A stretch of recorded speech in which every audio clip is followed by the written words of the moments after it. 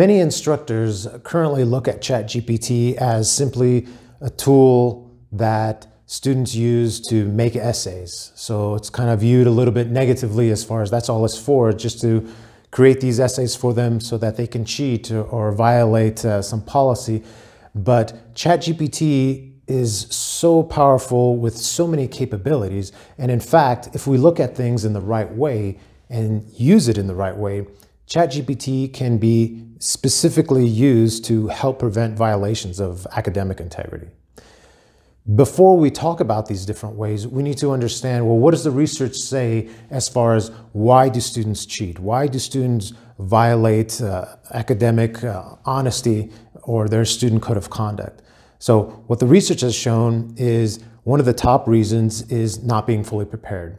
Uh, that's kind of like, that makes sense, not being fully prepared. But additionally, with this number one slot is also students that have a fear of failure. So these can be A students that they go ahead and cheat just to ensure that they keep that A. So that's the number one reason.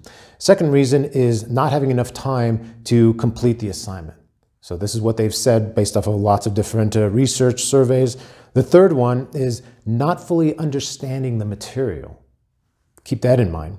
Fourth one is believing that cheating is acceptable. It's, it's acceptable in the class. So they believe that, so of course they do the cheating. And then the fifth one is believing that others are cheating and getting away with it. So they're cheating themselves if they don't cheat. All right, so that's an interesting way of thinking, but that's the fifth reason that comes up in the research as far as why are students cheating. So now in looking at these different reasons for why students cheat, let's see how ChatGPT can be specifically used to help address these issues and reduce these incidents of academic dishonesty. So the first reason given was dealing with students not properly understanding or having a, a fear of failure. So ChatGPT can be used specifically with scaffolding. So through that scaffolding, that means that the information can be summarized. It can be used as a study buddy to help the student go through in, their understanding. Uh, the fear of failure, they can uh, use ChatGPT as a practice tool. So that means that uh, the instructor can give them multiple practice tests, multiple practice quizzes, so that they can be sure that I know the material, I will get a good grade because I can succeed in these practice tests, practice quizzes.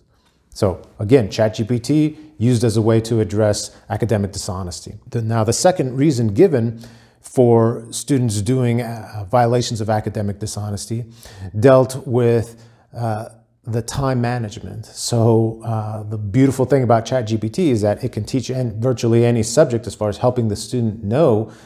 So ChatGPT can be used directly to ask it questions about how can I improve my management of time? How can I be more productive? ChatGPT can help with the creation of content. It can help with making rough drafts, with studying, with proofreading. Simply put, it can be used to increase productivity. So this will give students more time, more ability to then properly be ready for whatever test or assessment will come up. A third reason, or a third way that ChatGPT can be used dealt, deals with the third reason given for why students violate academic honesty policies, and that is ChatGPT can be used to help students understand. It can help them, uh, ChatGPT can be used to help explain the content in different ways. It can be used to help with different levels of sophistication. So if the student isn't ready, they can get the information at a lower sophistication level, lower level of understanding. It can be explained. And then once the student understands that, it can go higher and higher until they fully catch back up. Uh, ChatGPT can be used uh, to explain the content in different ways with examples, with analogies, as a story, as a song, in any way that would help that student to better understand the material. The fourth reason, and this is a big one, is that uh, that students uh, gave as far as why they cheat or violate policy is because they think that in their classroom that it's acceptable. It's acceptable for them to, to cheat. So if they think that it's acceptable, then of course they're going to cheat. So using ChatGPT, this is a great opportunity for the instructor to say, hey, let's talk about ChatGPT. Let's talk about advanced AI. So now that we're having this discussion, it brings it to everyone's attention. Oh, this is a tool that could be used that way. Well, as the instructor, I'm telling you what you can and can't do. So I'm bringing it to everyone's attention so that we're all on the same sheet of music. We all understand this together. What is wrong, what is cheating, what is not allowed in this classroom, what is allowed in, in this classroom. So by having this shared understanding, then we can help to avoid this reason that students give. Uh, along the same way, by helping students see and explaining within the class that ChatGPT can only be used in this assignment, can only be used in that assignment.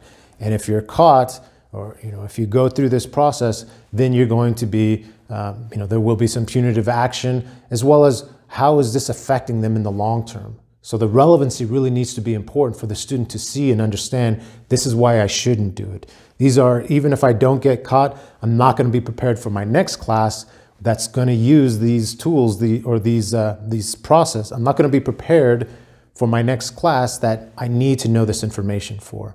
So it's important for the student to fully understand what's allowed, what's not allowed, why they need that information, the relevancy, and to avoid these cheating things and to avoid these, these problems, and so that we don't have to have these uncomfortable conversations as far as uh, grievances or ethics violations we, we want to avoid that from the beginning. So this is why instructors at all levels need to be upfront and inform the student. Policies at universities and schools need to be very specific in what can be done, what can't be done. But the instructor is always the key. They need to spell that out to the classroom. They need to have it in their syllabus so that students know what is cheating, what isn't cheating, why they shouldn't, and help them use ChatGPT to address all these issues for why students uh, do academic dishonesty. ChatGPT is a powerful tool, and if used in the right way with good AI literacy, it can be a help to education in a multiple of ways. This is just one great way for that. And remember, learning is for life.